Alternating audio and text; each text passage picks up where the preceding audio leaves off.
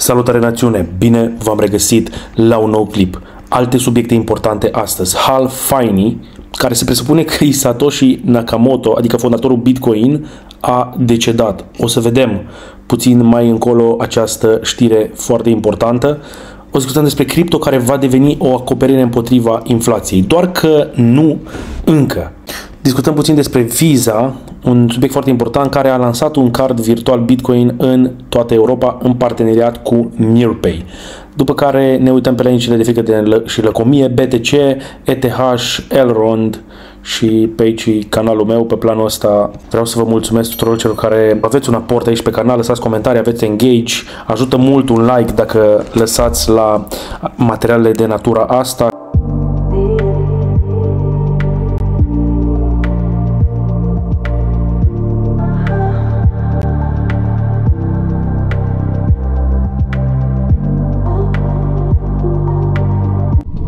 Capitalizarea totală a spațiului cripto în punctul ăsta este pe la 968 de miliarde de dolari. Suntem sub un trilion. Volumele sunt la 61 de miliarde.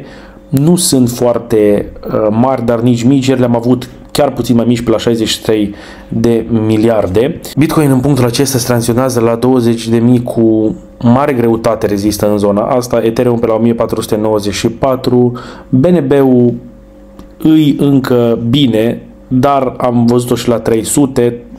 Cu toate astea performează extraordinar în acest bear market. Solana s-ar putea să lovească 28 de dolari. Nu sunt sfaturi financiare aici pe canal, sunt doar părerile mele, da, deci nu sunt analist financiar, așa că voi sunteți responsabili de investițiile dumneavoastră. Polkadot-ul rezistă foarte, foarte bine în acest mic dump al BTC-ului. Polygon, Matic e pe creștere, așa puțin, în timp ce Bitcoin supraviețuiește să rămână în jurul prețului de 20.000 de dolari. O să mergem și pe Elrond, dar înainte de asta vreau să discutăm despre Hal Finney. Așa cum bine știți, identitatea fondatorului pseudonim al Bitcoin este subiectul unor speculații nesfârșite și dedicate în rândul mulțimii cripto hardcore și din motive întemeiate. Misterul este cu adevărat ademenitor și chiar este, adică imaginați-vă, toată lumea se gândește la, bă, cine a creat Bitcoin? Dacă o să retragă, îi Putin, îi Trump, e Biden, e copilul lui Biden, habar nu avem. Și dacă vreți să citiți mai multe, ca să nu vă plictisesc să intrăm în subiecte uh, importante legate de situația pieței, puteți să intrați pe News Bitcoin aici și vedeți uh, știrea, probabil o să vă las linkul în descrierea acestui clip ca să vă fie mai simplu. Pe scurt, Faini a absolvit renumitul Caltech uh, cu o diplomă de inginerie în 1979, a aruncat câțiva ani în dezvoltarea de jocuri pe computer, a continuat să se alăture PGP Corporation, creând unele dintre primele, să zic, intimități destul de bune pe care le-a văzut lumea. Faini a fost un OG cyberpunk, membru al listei de corespondență de la începutul anilor 90, dezvoltator și filosof pasionat, când a venit vorba de soluții cripto pentru păstrarea confidențialității, a anonimatului și a autonomiei financiare. Mai departe, cripto va deveni o acoperire împotriva inflației.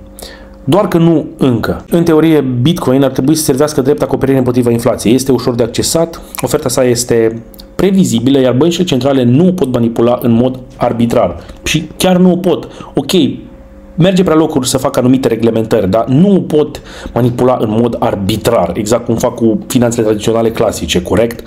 Lăsați în comentarii părerea voastră până în acest punct. Cu toate acestea, investitorii nu o tratează în acest fel.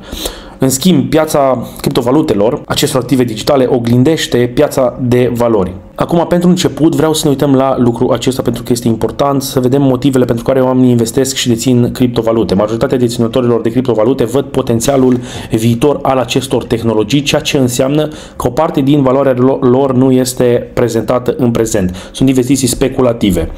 Bun, let's cut the bullshit. Pe lângă tehnologie, care de, de fapt inovația în sine este Web 3.0 și criptovalutele sunt niște aplicații importante construite pe această tehnologie. Și pentru cei care sunteți la început, blockchain-ul ăsta de care tot auziți este o bază de date. Și criptovalutele sunt niște aplicații construite în baza aia de date. Și baza aia de date, practic, tot ce intră în ea nu poate fi șters, replicat și tranzacțiile pot fi văzute în timp real. Deci este o bază de date cu o securitate la un cu totul alt nivel. Cam asta e așa viziunea și ideea. Iar oamenii, să fim serioși, uh, let's cut the bullshit, investesc ca să facă profituri, pe lângă particularitățile tehnologiei blockchain. Cam asta fac oamenii. Vor să facă profituri în viitor și piața cripto fiind în momentul ăsta foarte volatilă, la un următor bull market în 2025, dacă vă alegeți proiectele bine, o să puteți să faceți niște profituri interesante. Și la mine pe canal am vorbit despre tot felul de proiecte, top 5 cripto pe termen lung și așa mai departe. Deci da, în viitor uh, Bitcoin poate să servească ca o monedă uh, digitală, ca un activ digital protejat de inflație, dacă putem să-i spunem așa.